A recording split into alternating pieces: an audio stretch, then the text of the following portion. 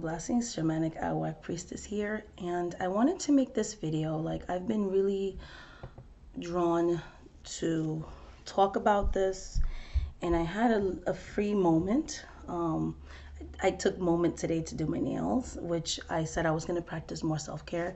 I don't even remember the last time I did my nails, you know, so um, I took some time out today for that because the kids had a half a day today, so I, um, because I had to pick them up earlier than usual, I didn't have any late afternoon readings, so I decided why not do my nails, you know, um, and, and wash my hair and, and comb it out and, and, and do like braids um, and things like that. So my, my hair is in the process of drying right now, and braids help it to like not get tangled up and stuff and get matted because my hair gets matted a lot especially since um, I hit 40, like I notice the, the texture of my hair has been changing. It gets matted a lot easier now. But um, I was, so I recently did an exchange with a friend. Um, she was a former content creator. Now she, you know, she felt drawn to pretty much delete her channel. Um, but I still talk to her outside of YouTube. And we did a deck exchange and um, I traded her my Dreams of Gaia. I have a backup copy of that one and um, Isla Lenormand in exchange for the New Era Tarot, which I showed in a video that I did uh, yesterday, I believe. Um, and I and she also gave me this deck, the Light Seers Tarot. I'm like the only person I think on YouTube that doesn't own this deck. Maybe I'm wrong. Um, this is the mass produced. I love the cardstock on this deck. I'm a mass produced, you know, person, but I did a test reading today. Um, I, I was watching someone's video. I f- can't remember who it was, and they were talking about tarot journals. I do keep a tarot journal myself. Um, this is my tarot journal, and what the way that I do um, my tarot journaling is um, I only journal readings that have a really big impact on me. So I don't do like daily journaling. Um, in the past, I tried to like pressure myself into um, doing more frequent journaling. I'm drinking tea. It's a herbal blend that I made. Um, it's my psychic tea. Um, it's really nice. Like it makes me feel really like high vibrational. But anyways, um, and um, I lost my train of thought. Um, so yeah, so and when I was journaling this morning and I was shuffling my new deck to me um, that I did an exchange for, I was thinking, I always do like a one card pull, and I got the two of swords. And this, the reason why I'm sharing this reading is because it makes a lot of sense. I really have been feeling like the twos of swords lately. Um, just kind of confused um, about certain things. You know, um, there's big changes coming up for me spiritually. So in my business, in my personal life, in my spiritual practices, um, and things like that. And um, I do read reversals. So the Two of Swords came out reversed. Okay which means that even though this is a very confusing time for me, um, there, there needs to be a decision made. You know, I know not everybody reads reversals, but I do. So it, when I see a reversal, to me, it's like double impacted. When I see that, it's kind of like even more so. Um, I need to break through the confusion. I need to make time to meditate and really think about um, certain things. And which brings me to why I'm making this video. Um, I asked myself when I got this card, I have been thinking about where do I want my channel to go? You know, I'm doing a deaf year this year, a low buy year, so no more than two or three decks newly purchased. That doesn't count exchanges, so because to me exchanges is like getting rid of decks I don't use in exchange for decks that I may be possibly interested in that someone else may not be using. I kind of see that that's that being okay because it's like one in, one out. uh, which is perfectly fine. But like actually purchasing and adding to the collection, I've only allowed myself two or three for the whole year of 2020. I got rid of a lot of decks that no longer resonated with me. Maybe I had a connection with them in the past, but I didn't anymore. And I either, you know, I, I either gave them away or traded them out for other things and things like that. So, you know, I started to feel this way back in October of 2019. I just had like an awakening when I went to visit family members and I noticed a shift in my spiritual practice where I made a video called Getting Back to Basics and finding magic in the mundane um, because I felt for me personally, and this is not a knock at anybody else, I felt like I started to buy for the sake of buying. You know, um, I've been on YouTube for two years um, creating content and things like that. And I feel that sometimes, me, I kind of got sucked into the whole you know, buying things for the sake of buying things. And, you know, in October last year, when I didn't have any tools to do magic with, which is how I was raised, it is the way my mother taught me, it is the way that my grandmother taught me, it's the way that my great great grandmother taught me, you know, my, my, my, the matriarchs of my family, because I do come from a very rich and beautiful uh, cultural and traditional spiritual practice in my family, you know. Um, they practice with just the everyday. And I was talking to one of my students about this, and she was saying that her family member, I'm not going to say what her name is, also practiced in that way. Like she used what was there and it wasn't fancy shrines or altar that to the naked eye it doesn't even look like anything spiritually is going on and that's how i started and then i noticed you know as I got more and more deeper into YouTube, even before I was making a channel, when I was watching other people's stuff, I started to add things. And I was going through a lot of changes at the time. And I feel when I started to add things, it was like I was trying to fill some type of a void. It became almost addictive whenever Amazon will come with a new deck or a new crystal or something like that um, it didn't start off that way, but it became an addiction for me. I'm just saying for me. And I didn't feel good about that. You know, um, when the hurricanes in Puerto Rico happened like a couple of years ago, I went through this purging phase where I stopped buying so many things. I I started to see like um, global warming and climate change and the effects it's having on the environment. So I started buying less crystals, but I was still buying a lot of decks. And if you collect decks and that makes you feel good or spiritual tools, this is not a video about that or, you know, making fun of or judging anybody else. But for me personally, I didn't like the way me buying these things felt. Um, so I had stopped buying decks for a while. And I was really around 2017, 2018, a little bit more conscientious about my purchases. And then in 2019, when it came to deck purchases for myself personally, it got out of control. Like there's decks I didn't even do walkthroughs of. And there was 10 that I was grateful for, but I bought like 21, 22. For me, that's a lot. Um, I'm not going to use all those decks. A lot of them I ended up getting rid of. And I lost money doing that because you're never going to get back the money you spend into a deck if you resell it or if you give it away for free. And I had to really was thinking about that, that two of swords, that, you know, I had blinders on. I was refusing to see, hey, you have a problem. And so when I went and manifested really powerful rituals back in October of last year, and I didn't use any tools, it was just me and the spirits because in my Afro-Caribbean practices, the spirits are in nature, you know. Legba is in a tree, Ogun is in the train tracks, you know what I mean? Um, they um, you know, Oshun is in the sweet waters and Yemaya's in the oceans and, and things like that, you know. Just going back to that and praying to them in their natural state in nature and communing and hearing voices of spirits in nature, it was such an awakening period for me that I decided at the end of last year that I was going to do a deaf year because I started to realize that I was trying to fill voids with purchasing things. it's nothing wrong with collecting things if that actually is enjoyable for you. But that wasn't the purpose of why, it's not the purpose of why I buy decks. I have never wanted to be a collector.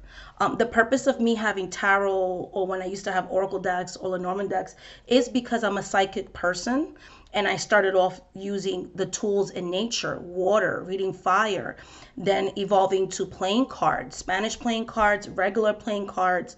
And then when I went professional, when I started doing um, professional readings eight years ago, it's going to be eight years, um, I started using tarot and studying it, you know, um, because when I was trying to read clients, which I can read them clairvoyantly, it was starting to give me migraines, all that energy pull. Because in order for me to sustain myself, which I've been doing for the last eight years, I have been a full time reader and root worker um, on a professional level.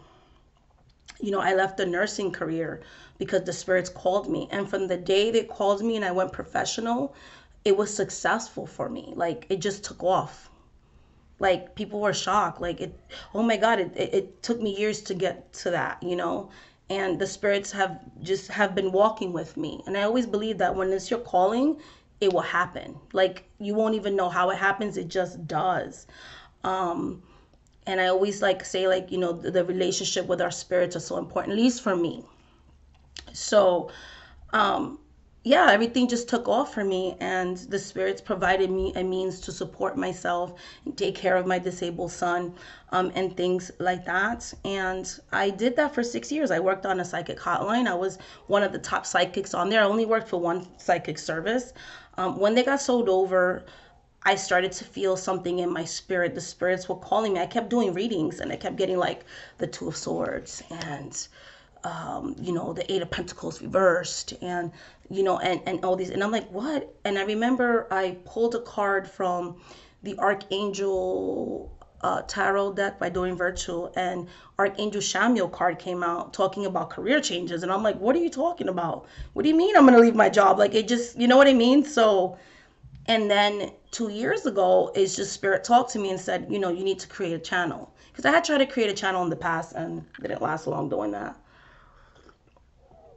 it wasn't the right time. It's taken me a long time to even grow my channel, but I don't know, like I was already sustaining myself on the psychic hotline, but they're like, no, make a website, do this. And I'm just shocked, like not shocked in a bad way, but shocked like I'm so humbled and so happy with what's happened in the last two years with my tarot business, my spiritual business, because um, it's going to be three years this summer. Um, after like the first, you know, after like the first maybe six months, I was able to completely leave the psychic hotline and then go into um, this full time and things like that.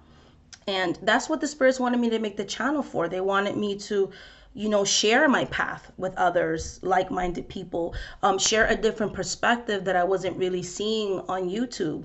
Um, in celebrations of Afro Caribbean um, and, and, and, and Taino spirituality, um, you know, um, serving the Orishas, talking about loas, talking about hoodoo, talking about conjure, talking about Haitian voodoo, um, and things like that. When I first came to YouTube, I was leaving Santeria. So Santeria is not something that I practice any longer, but I do have lower initiations. I have had spirits mounted in me, but the spirits call me to a different path where I can still serve the Orishas just in a different tradition, but still part of a closed tradition. Um, and they've really been calling me to Haitian Voodoo, which is the next path that I've been doing, like I said, a year and a day, and been preparing myself to get fully initiated into that um, spiritual practice as well.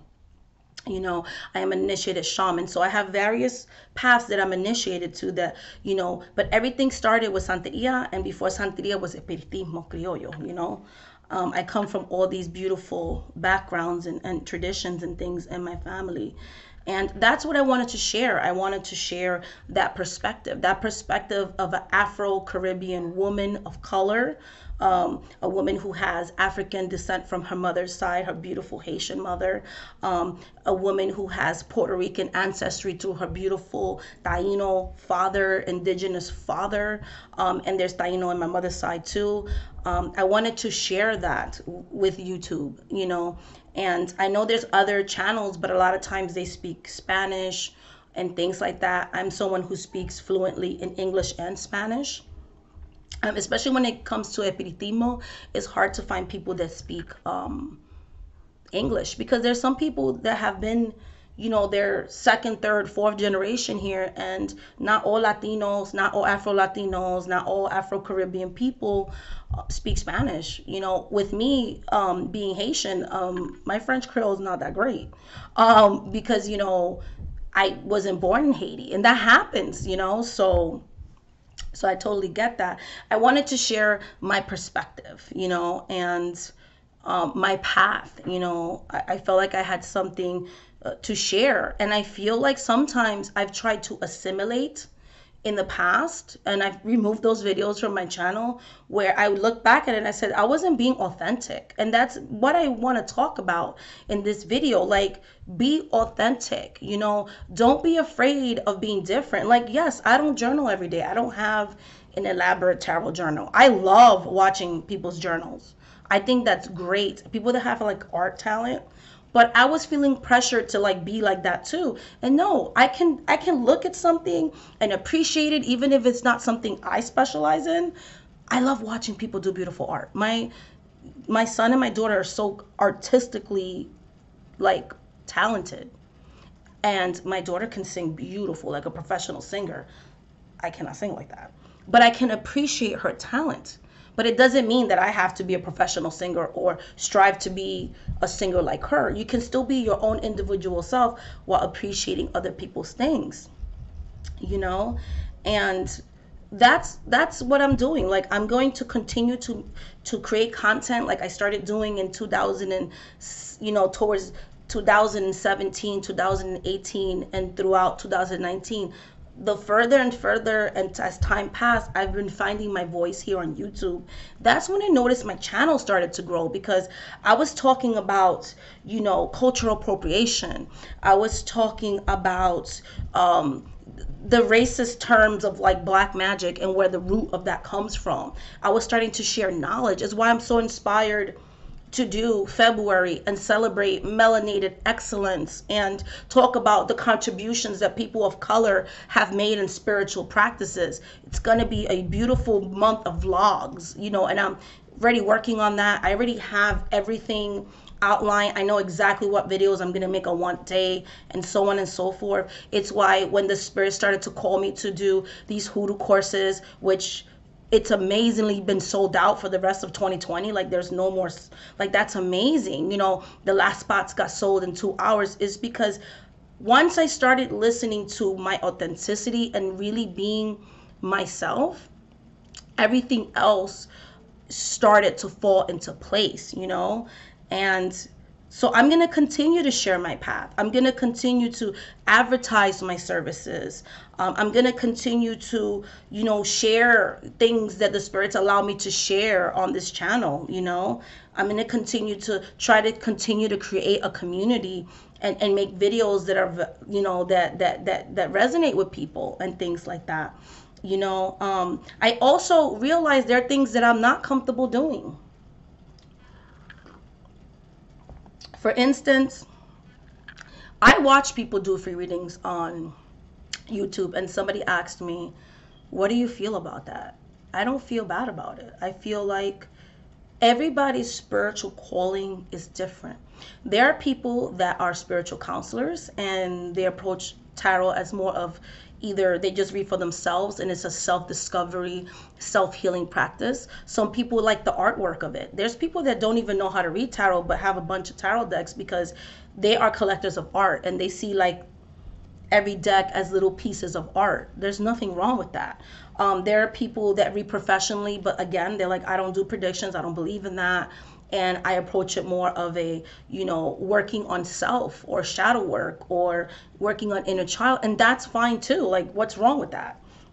Um, there are people that create YouTube channels and they do free um, community readings and energetic readings and energetic forecasts. Um, there was one person on YouTube that I watch. Um, her channel's on hiatus right now. Um, she did crystal readings. I love that. I found that so fascinating. Um, and things like that. There's nothing wrong with that. I don't have a problem with people doing free readings on YouTube. That is a personal choice and that is private. That is between you and if you believe in spirit guides or your higher self or wherever this um, the messages that you believe are coming through that's personal there are people that have hundreds of decks you know that's personal like i don't i'm not on youtube because people always ask me what i think though i'm not on youtube judging people. If a channel doesn't resonate with me i simply don't watch it. I don't sit here and bother people and tell people how to practice their spirituality. Like we need to do what's right for us. But for me personally I don't do free readings on my channel because I I was saying on my other video, I I've been doing this like really doing this for 8 years and I read tarot hours and hours on day, so I don't have any type of energy left to do a community reading on YouTube. Um, because I do it for a living and I do it for so many hours a day that I want to save that energy for my paying clients. Um, I also don't give free readings to my friends. There's readers that exchange readings between each other. That's something I don't personally do. Like I know people that do readings. I've, they could tell you. Um, friends that I have outside of YouTube that are content creators, or even people that don't create any content that I just know that um, work in the psychic industry or you know do tarot readings or whatever. I don't ask for free readings because in my culture, you have to do some type of exchange. Um, so um, if I get a reading from a friend, I pay them as if I'm just a regular client. And my friends, even my best friend, she pays me like a regular client, you know, um, and things like that. My even with my children, when they get readings from me, they always do something in exchange. Like they'll do an extra chore at the house. Um, my oldest daughter, she's really good with reading, so her and I would exchange a read, you know, or something like that. Um, I've actually paid her. She's actually paid me something um, whatever she feels. You know, she's my daughter, so whatever she feels intuitively to pay. Um, because in, in my culture, that's something very valued. You know, um, it takes a lot of energy. You know, it's it's like a, it's like uh, I don't know. It's like it's a seen as a talent. Um, another thing that I find that I doesn't resonate with me, but I can watch videos on, are altar tours. Um, I used to feel bad because I've never really done them. I, I showed my white altar. You know, I showed one of my altars in the living room, which I don't have that altar set up like that, um, one time. And it's okay. Like, I didn't feel any kind of way about it. But as far as like really showing you my spirit room and stuff, I'm not saying that may change in the future, but for now, like, I don't feel comfortable doing that. Um, I'll create a mock altar even when I'm, you know, doing my my lectures and stuff. But I was just raised not to do that. Like, and as far as like the Orishas, for instance, you know, um, Olofin doesn't like when you give away his mysteries. He likes to keep things private. Um, there's many patakis about that. Um, the, the, the power in the secrecy. Like someone emailed me today to kind of like teach me all about the, and I said, no, they're called Misterios Mysteries for a reason and they choose who they want to serve them, who they are willing to have a working relationship with. And when it's the right time, they will find you that teacher, that elder, uh, the ideal situation, and they will divulge that mystery to you. Um, that's why I feel like it's it's important to.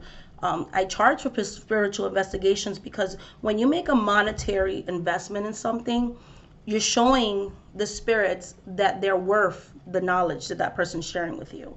Because in, in, in my path in, in my cultural practices we pay the spirits either with physical money and with things like food and all that kind of stuff. You know every culture is different but we have to physically pay our spirits. Um, there's a saying in, in haiti that even the spirits don't get a free lunch so when the spirits do work for us we pay them for their work everybody has to work for what they have. Um, I come from that type of culture in the Caribbean because a lot of people think, oh, Puerto Rico is a part of the United States. No, they have 60% poverty, and it's actually higher now since the hurricane, since all the um, earthquakes and things that are going on. They've been economically unstable for a very, very long time and in a very bad recession because of the debt that they have because of the because of the hedge funds situation. So you know um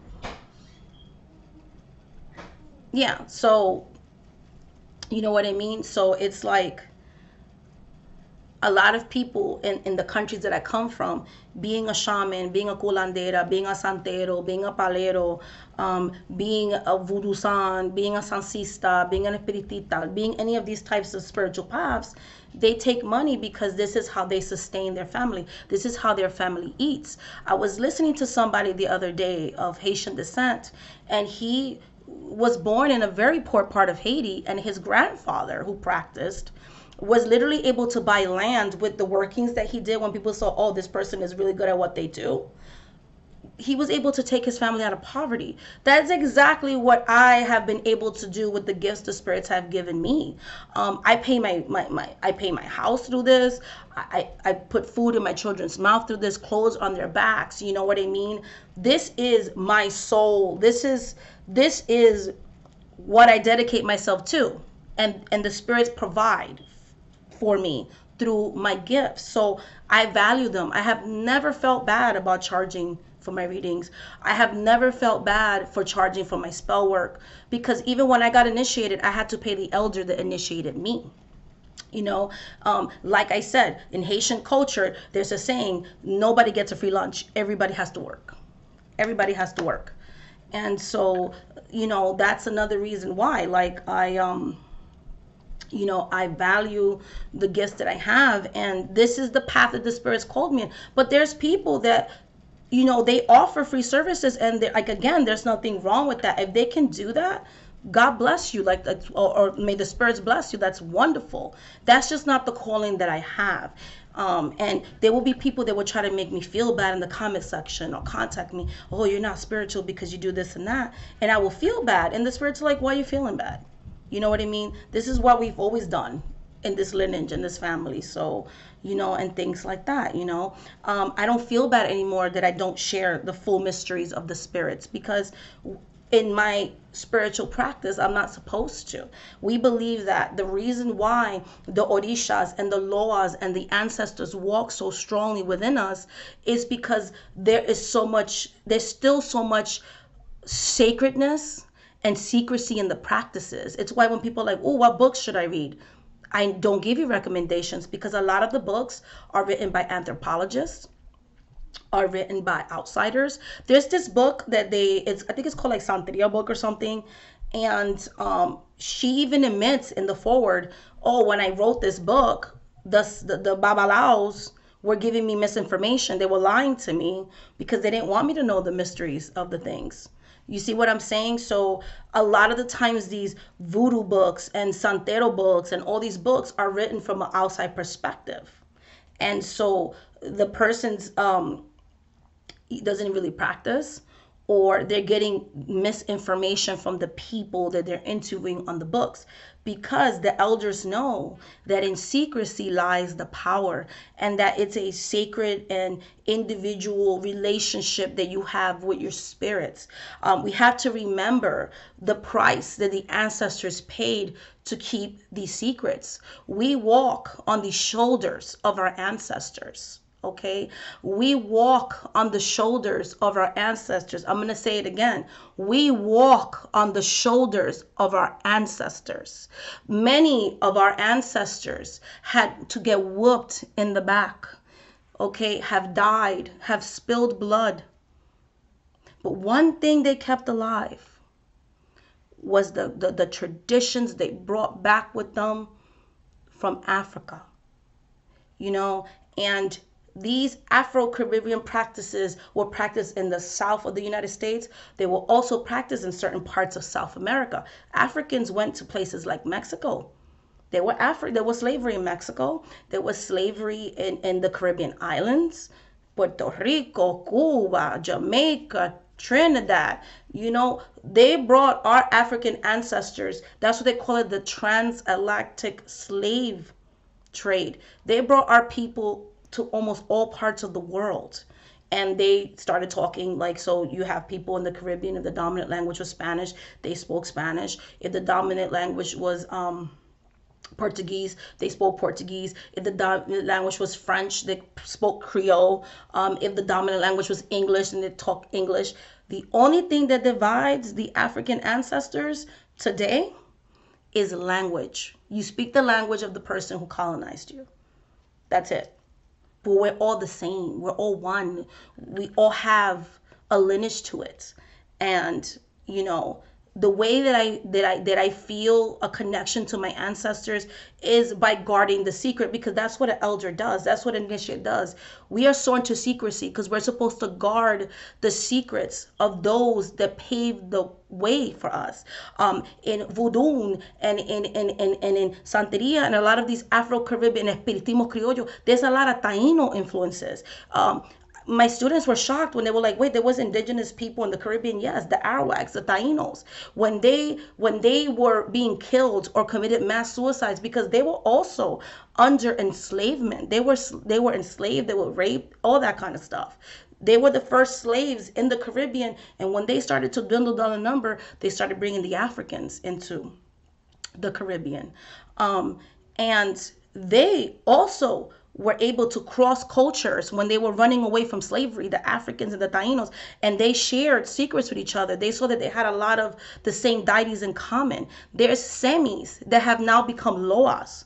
There's cemís that that are that are in in in, in other you know that, that are served in espiritismo and espiritismo sancismo. There's still a lot of Taino influences when they were creating the veves that today you see in Haiti or anybody who practices voodoo. They, they, they when they're activating those veves, there's Taino influences. Ezili Dantor fought on the behalf of the Taino people when they were having the Haitian revolts when they were freeing the when when Haiti became the first nation to free itself and was founded on free slaves that were tired of being oppressed you know and to till today they're trying to make Haiti pay for that when they had to pay restitutions that made the country go bankrupt but one thing you cannot take away from Haiti is no matter what goes on in that country, Haitian people are strong. I feel like Haitian people are like the roses that grow you know what I mean, that grow in the pavement. Like there's beauty in, in the strength of, of the Haitian people. Um, and, and that's why Haitians are so closed off with voodoo, you know? And when I started going under the, the, the tutoring and the mentorship, I understood the sanctity of that. I understood the sanctity of making these vows to keep certain things secret you know and that's what i was realizing today that it's there's nothing wrong if a person wants to keep certain things out of such a public forum out of their youtube channel because that's me being myself I wouldn't feel right. But I still watch people that make oils on YouTube and get share recipes. I've I've watched people that do spells, life spells. That's nothing wrong. If that's what they want to do, then that's that's fine. You know, for me personally, the spells that I do because I know the, the history of my family and the price that my family paid in order to keep our spirituality secret, I only feel comfortable sharing it with my children, my godchildren, and my future students. I don't feel comfortable sharing that in such an open public space, you know? But that doesn't mean that my path is better than anybody else's. It's just me being authentic to myself, you know? Um, same thing like I, I tried to modify decks and I, I found out I didn't like it. But I like watching how people make decks their own because, you know, everybody's different. It's just, honestly, I like decks to stay the way that they came. It doesn't do anything for me to modify a deck. It actually made me very sad and I ended up buying an, an, unmodified deck because it doesn't speak to me. You know what I mean? Or liking decks because everybody else has them and they're the popular deck and you know, and things like that. Like, I've just learned to love what I do. Um, same thing with there's channels that teach people tarot, and I think that's wonderful. That's something that I'm not passionate about. like because the way I read tarot might be different than the books or whatever. Um, I'm not really passionate about teaching that at this time. You know, yes, tarot, I love it. Um, I, I read for a living. Um, it's a part of my life, but it's not something that I want to teach publicly on YouTube. Maybe someday I'll do a course on it or something. I don't know, but it's not something that I, you know, that I want to teach on YouTube. I don't know why. Just it's not something I'm interested in, and I don't want to make content just because other people are making content. If that makes sense, I'm gonna keep doing what I do, you know. And I think that we all need to do that. I think that it's so important in a community to be your own unique self and to have your own unique voice and to always be true to you. You know, what makes you comfortable? What doesn't make you comfortable? And so I'm going to listen to the message on this card in the reverse. And I, I made a decision. I'm going to keep doing what I do, you know, and see where that takes me, you know. Um, continue to do my readings, continue to do my spell work, um, and just continue to mentor and, and help and, and, and, and heal and just keep moving forward. There's projects that I that I have coming up this year that I'm excited about that I'm gonna share at a later a later date. Um, because I'm, I'm I'm pretty much going into the unknown this year. Um, there's just some really great things going on. And I want you guys to be here to watch that journey with me. Um, I'm going to keep sharing my journey. I'm going to keep sharing my journey. And I hope that this channel continues to grow, this community continues to grow, and um, that's that's about it. I just wanted to share that one little thing, and I will see you guys in February unless I make another random video. But I just been very talkative lately, making a lot of video. I'm drinking my tea, so good. Mm. Yum. so anyways much love much light much blessings this was just like such a ramble but um i just wanted to make a video about being authentic to myself. Um, that's why i'm doing the deaf here these are feelings and things that i'm journaling about and exploring and things like that. And i just realized i was letting myself be influenced by what everybody else was doing and then questioning well why don't i like doing that? Why can't i be like everybody else? But i think like you need just need to be yourself. You know what i mean? If you authentically enjoy those things keep doing them because i'm, I'm gonna keep watching it but for me personally like it's not anything i want to do you know what i mean? So anyways much love much light much blessings. Thank you so much for watching this video. Until the next video guys. Bye